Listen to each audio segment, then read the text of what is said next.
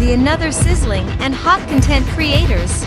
They will be your next inspiration and idol, so make sure to watch out for your favorites. Without further ado, here are the second batch of Season 6 content creators. From the province of Laguna, the go with the flow and fearless content creator. Hi! I'm Jedilyn May Hainto, but you can call me Jed for short. So I'm from the province of Laguna. Ano bang dapat nyong abangan sa akin? Bilang pumasok tayo sa The House of Collab, gagawin natin yung best natin. Ilalabas natin kung ano yung mga naitatago nating talents.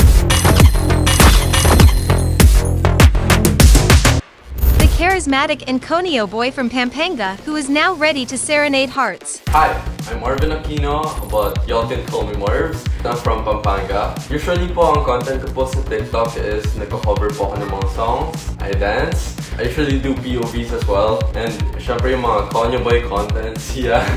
and I want to take this opportunity to say thank you sa inyong lahat. And sana, supportahan niyo pa ako sa loob ng Dogs of Collab Season 6. So, I'll see you guys there.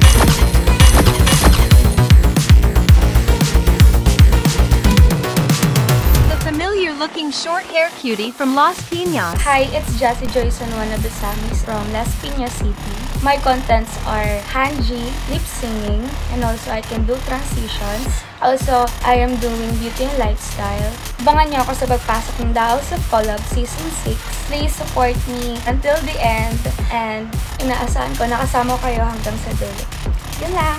Thank you!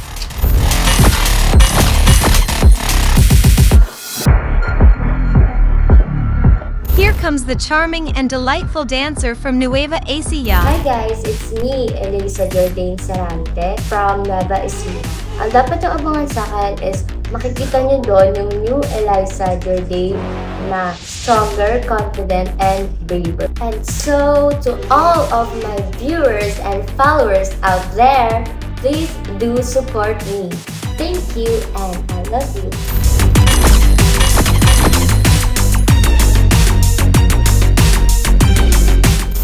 Boy Hum from Bulacan is here to lift his career in the mansion. Hello everyone, my name is Ray Versan Benaventura and I'm from San Jose del Monte, Bulacan and I'm content creator on YouTube, Facebook, and TikTok. So ang abangan niyo sa akin sa pagpasok ko sa mansyon ng The House of Colabis, kung paano ako makipagkaibigan, kung gaano ako bibo, kung gaano ako kulit, tapos kung gaano tayo karunong makisama. Asahan niyo sa, pag sa pagpasok ko sa The House of Collab, gagalingan ko dyan syempre. Let's go!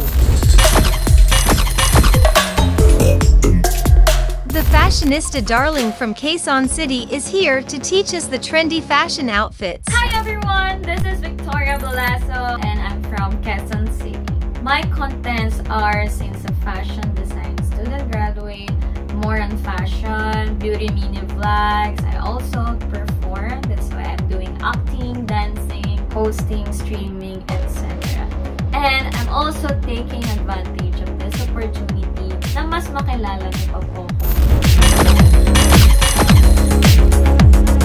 The Koreana yet pure Filipina is now back for season 6 to express herself even more. Hello po! Ako nga po pala si Cheesy J. Ruiz Arlos or also known as Jay from Bacolod City, Negros Occidental. Nakilala nga po pala ako sa paggawa ng Omi TV videos late last year. Ngayon season 6 ang maiaabangan niyo po sa akin is mas matapa, mas determinado, at mas magaling na chill.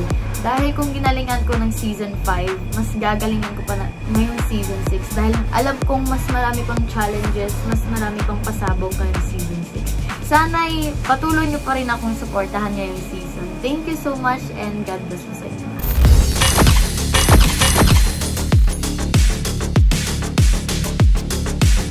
Cool heartthrob from Pangasinan that will make the women fall in love with his charm. Hi guys! Ako nga pala si John Marie Villanueva, nakatira sa Sual, Pangasinan. Nakasahan niyo ipapakita kong best ko, ipapakita ko yung pagkatao ko, at makikita ng buong mundo kung ano talaga yung ugaling meron ako. At hindi ko kayo madidisappoint guys ka dahil sobrang papakita ko yung best ko sa lahat-lahat ng mga task na ipapagaw sa akin sa mansyon. Kaya guys, sa lahat ng followers ko guys, inaasahan ko po na susuportahan nyo ako mula simula hanggang sa huli sa bagong journey ko sa The House of Collab Season 6.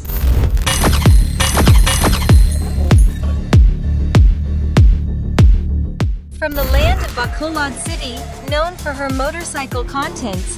Can she be able to ride through this season? Hello everyone! I am Kate Halipa from the City of Fruits and Highland Spring, Kidapawan City. And alam kong nagbitin kayo sa exposure ko noong season 5 dahil season ender na ako and last na ako pumasok sa The House of Collab. Abangan nyo ako this coming season 6 dahil magpapakita pa ako ng talento sa pagsasayaw, pag-acting, paggagawa ng content, and pagmumotor.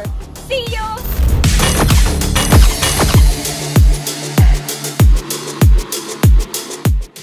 Personality from Bacolod City. Will she have what it takes inside the mansion? My name is Crizella Anya A. Herado from Bacolod City, Negros Occidental. So yung content ko po is more on POVs, pero kaya ko rin naman sumayaw, kumanta at gawin kahit ano pa dyan. Yung aabangan nyo sa akin sa House of Collab Season 6 is more collaborations, contents, and mga challenges na ipapagawa sa amin sa loob.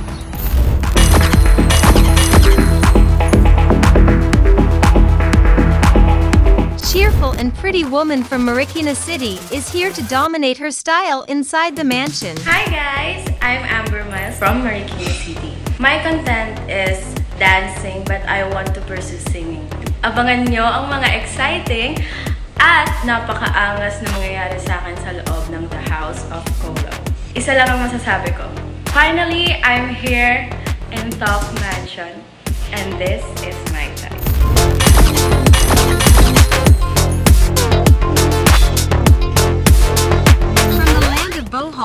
a sweet and playful content creator who was born to be ready. Hi everyone! My name is Jen Tadeo Kim from the land of the Chocolate Hills, Bohol!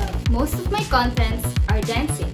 Abangan nyo ang makulit at pagiging palaban ko inside the mansion. Supportahan niyo po ako sa journey ko sa House of Collab and thank you po sa followers and supporters ko.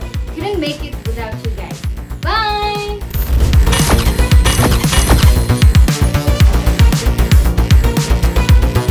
Cute and amazing content creator from Agusan del Sur is here to show that she got what it takes to be part of the House of Collab. Hello to viewers! It's your girl Regine Campos from Santa Josefa, Agusan del Sur. Super excited na ako maipakita sa inyo ang aking talento at excited na rin ako makikolab sa mga kasama kong content creator. I am very thankful dahil binigyan ako ng pagkakataon na maipakilala yung sarili ko sa mansyon at excited na rin ako sa journey ko sa The House of Collab Season 6.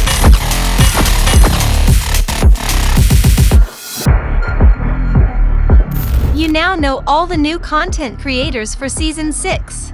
So now get ready for the House of Collab cause this will be an avant-garde season where everything will be unique and creative. This season will unleash their inner talents from within and show their true neon and festive colors. That's why if you want to see what they will do next, then all you have to do is to like, comment, share, and subscribe to all the social media accounts of the House of Collab. Season 6